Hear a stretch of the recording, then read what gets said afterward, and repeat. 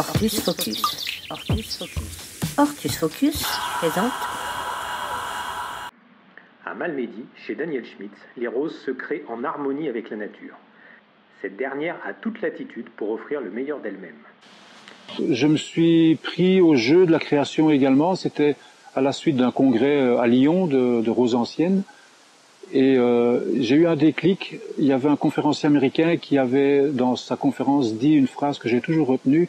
Messieurs les créateurs et obtenteurs de roses, essayez de réapprendre à travailler avec la nature. Essayez de laisser faire la nature. Et là, ça a été un déclic.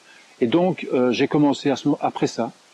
Euh, et mon travail consistait simplement à récolter des fruits en imaginant des choses.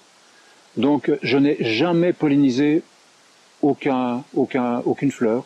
J'ai toujours imaginé, tiens, peut-être que cette abeille, là, elle va passer par là, et puis ensuite aller là, je vais récolter ces fruits-là que je marquais, et puis je semais, et puis, euh, mais j'ai eu des choses euh, assez étonnantes. J'ai eu la grande chance euh, d'obtenir euh, mon premier qui a été euh, Belle des Fagnes, qui est un arbuste euh, un peu sauvage, comme ça, très très remontant, avec des fleurs minuscules mais bien parfumées, et surtout très résistant au gel.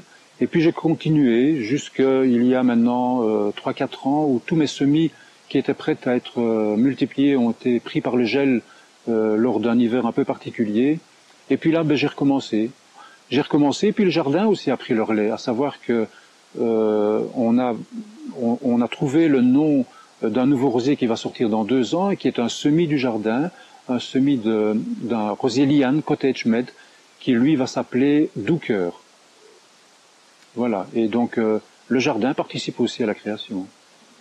L'hybridation se fait naturellement, sans sélection des parents. Voilà, sélection de la maman, mais pas du papa. Euh, c'est toujours de père inconnu chez moi.